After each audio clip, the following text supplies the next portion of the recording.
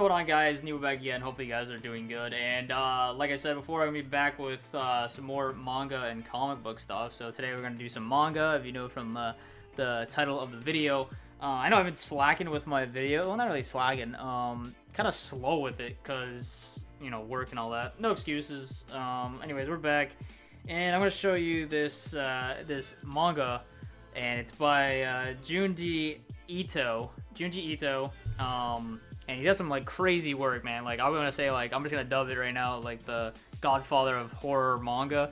Um, it's some crazy stuff. So he's got three books. I have all three, and I'm just gonna post them up here to show you. So first book is Uzumaki. Um, I got my Wu Tang uh, bookmark here. Love Wu Tang. Anyways, uh, basically Uzumaki is uh, Japanese for spiral. Or here's a spiral into the horror. Uh, and basically, the whole uh, story is that there's this town, and they're consumed by the spirals. And so he's got a bunch of these stories in here, and they're like they're totally out there. Like his brain, I don't know how this guy comes up with these, but just amazing to see how like imaginative he is. I think he's like he's pretty old, dude. He's like in his fifties. Um, and he still like he writes these books, and they're just so so crazy and out there, but I actually like it. It's it's interesting. You know, like at first when I read him, like I didn't get into it because it was kind of like just weird. But uh, when you start sitting down and you like get to the story, and you kind of want to know how it ends.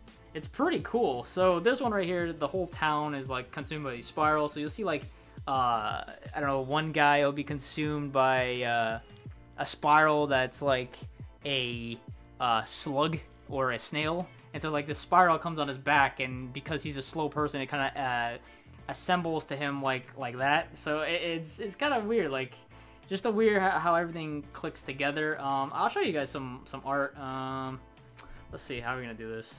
Here, I'll show you the first cover page. By the way, uh, if anybody hasn't read a manga before, it's a right to left. That's the way the Japanese do it. So look at this art. This art's pretty nice. Um, that's a spiral there. Some crazy stuff going on. Uh, I'm just gonna uh, there, something like that. Like, look how graphic it is. It's just so weird and nutty. Um, really like Uzumaki. Pretty cool book. Uh, if you guys don't have it, uh, check it out. If you don't even know what it is, check it out. Um, anyways, on to the next book. I don't know if this was the first one that he made or it was this one here. It says Tomie. Uh, Tomie is another one of these, and uh, it's basically about this girl, and she is. I haven't got around uh, around to reading it. Um, if you see that, they're pretty thick books. But anyways, Tomie uh, is about this girl. She like kills everybody and, and stuff like that. No use escaping Tomie. So she, she kicks ass. Uh, and, there's, and there's a huge description on the back as well. But um, yeah, this is another artwork. Uh, this is like I love the way these books look. The black with the white and the the the gray and the red. It just pops really well. And uh, yeah, like I said, like this, they're all horror mangas. And uh, here, I'll just give you a little sneak peek here. Some uh, some of the artwork. Pretty cool. Very nice. Very thick though. If you're gonna like read this on your back like while you're laying down, like I do when right before I go to bed, eh, probably not suggesting that because you might fall asleep and hit your face. but uh, anyways, and this is the last book that he's got. Uh, Junji Ito uh, Gyo, and Gyo is about these uh, monsters from the deep. So it says the death uh, stretch creeps uh, Gyo. So there we go. Just a little description. Smell of death hangs over the island, and uh, creepiest masterpiece for manga ever from the creator of Uzumaki. So anyways, basically they're just uh, strange creatures like that. They have like feet and they come on land and they eat people.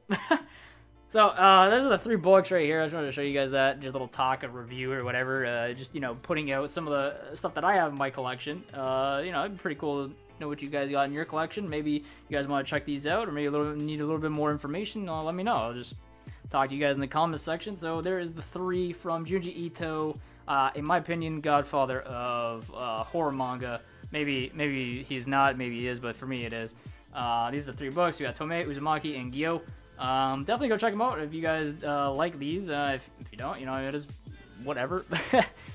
but uh, yeah, for me, I, I like these. They're pretty sick. Really cool scheme going on inside of the books too. His brain, in my opinion, is really cool, especially when you're you're you're reading it. You get to explore on like what the hell is going on. Like he just goes all over the place. It's amazingly drawn, very graphic. if you're into horror manga, these three are must. Anyways, guys, I'm to take off here. Hopefully you enjoyed. If you did, drop a like, comment down below. I'd like to talk to you guys. Other than that, I'm taking off. Peace.